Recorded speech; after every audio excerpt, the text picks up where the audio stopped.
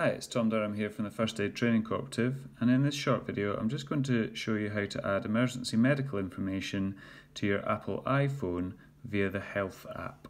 So if we just go ahead and open the app you'll see that there's the usual pages there. On the right is Medical ID as well as your normal health bits and pieces.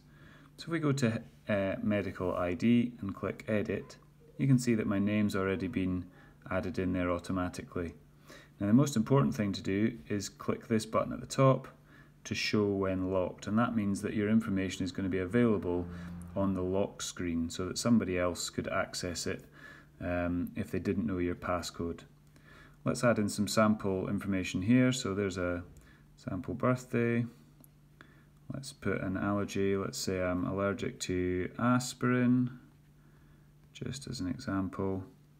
I uh, might put some medications there, might put a blood type, we'll say A+. plus. I'm an organ donor. Might put my height and weight as well, and then an emergency contact I could add in, and that just brings up your contact list. You can choose um, which who you would like to call in, in an emergency, and you can choose multiple contacts there.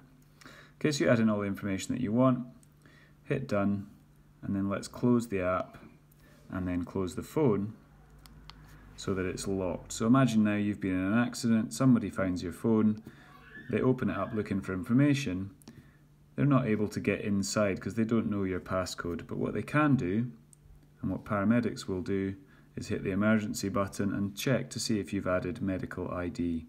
If you have, up comes the information that we just added a second ago, which is extremely helpful for them. I hope that's useful for you. Please check out our other blogs, and if you've got any questions, feel free to get in touch via our website.